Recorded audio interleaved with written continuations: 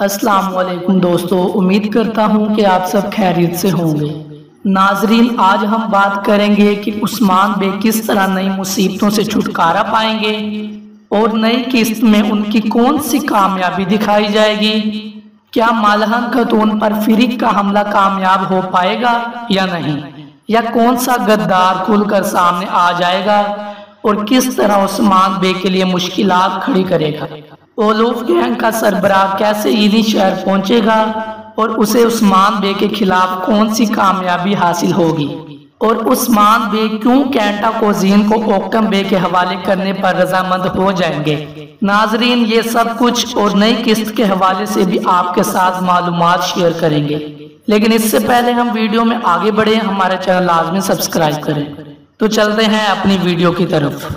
दोस्तों, जैसा कि आप जानते हैं कि कुरुलुश उस्मान की नई किस्त का एक और ज़बरदस्त ट्रेलर जारी किया जा चुका है और नई किस्त की आमद से पहले कुरुलुश टीम ने यह वाजे कर दिया है कि किसी तरह हमें पहली दो एक साथ में कैसे सनसनीखेज मनाजर दिखाए गए, जिनमें से उस्मान बे का निकलना बहुत ही मुश्किल था।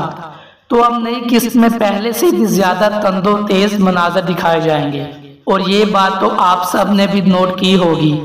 कि जैसे जैसे ये सीरीज़ आगे बढ़ती चली जा रही है तो कबीले से निकलकर एक रियासत कायम करने के मामला और वाकयात में भी इजाफा हो रहा है। पहले पहल तो उस्मान बे को काई कबीले के अंदरूनी मनाजर में घिरा हुआ दिखाया जाता था और कबीले के बाहर चंद एक महाज दिखाए जाते थे। लेकिन अब जब से नई रियासत का ऐलान हुआ है तो उस्मान बे को एक साथ बहुत से मामला को संभालते हुए दिखाया गया है। और फिर माजी की नस्बत बड़ी साजिशों का सामना भी किया जा रहा है, जिसकी एक बड़ी मिसाल ये है कि कि पहले तो उस्मान बे एक वक्त में एक या दो मुहाजों का सामना कर रहे होते थे, लेकिन अब रियासती अमूर में इजाफे के बायस एक तरफ़ इन्हें उरहान बे की हिफाजत का मामला दरपेश है और इसी शहर में ही उरहान बे को अगवा होते दिखाया गया है, जिसकी मदद के लिए उस्मान बे को इतला दी जाएगी। लेकिन इससे भी बढ़कर जो चीज़ें रियासत के लिए खतरे का बायस बनी हुई हैं, अब बराह रास्त कोई जंग हो तो उसमें लड़ना कदरे आसान होता है। लेकिन अब की बात दुश्मन उस्मान बे के सामने खड़े होकर ऐसी साजिशें कर रहा है कि उस्मान बे खुद भी गैर यकीनी सूरत हाल में मुबतला हो चुके हैं। तो इस तरह अपनी रियासत से बाहर निकलकर इन्हें रूमी सल्तनत ओलूफ गैंग और तुर्क कबाइल का सामना करना पड़ रहा है। लेकिन इसके बावजूद नई किस्त में उस्मान बे की कामयाबियाँ ज़रूर दिखाई जाएँगी। और नाजरीन, आपको तुर्कों की रिवायात के बारे में बताता चलूँ, जो हमें नई किस्त के आगाज़ में ही दिखाई जाएँगी।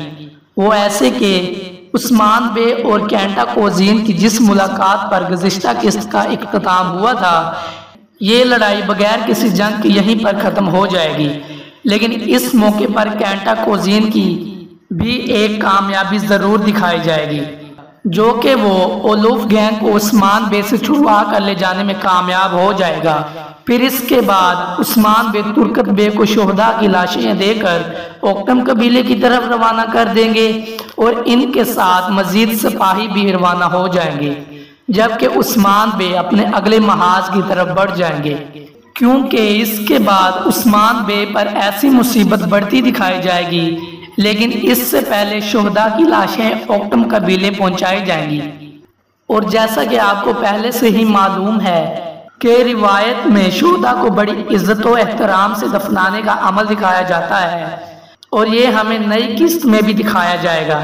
ताहम हर तरफ़ गमी का मंजर होगा और खसूसी तौर पर ओक्टम कबीले के सरदार के ख्यालात इस वाक्य के बाद तब्दील होते दिखाए जाएँगे। लेकिन नाजरीन, इस हवाले से एक और सूरत हाल हम आपके लिए लेकर आए हैं।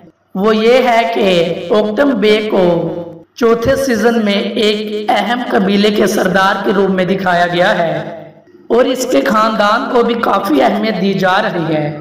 तो इस हवाले से आपने हमें ज़रूर जवाब देना है कि ओक्टम बे के बेटे को भी दिखाया गया है कि या सिर्फ़ एक बेटी ही दिखाई गई है।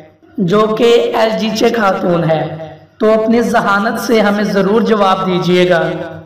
तो दोस्तों, अगर आपको हमारी वीडियो पसंद आई हो तो ज़्यादा से ज़्यादा शेयर करें और कमेंट सेक्शन में अपनी राय का इजहार ज़रूर दीजिए। शुक्रिया।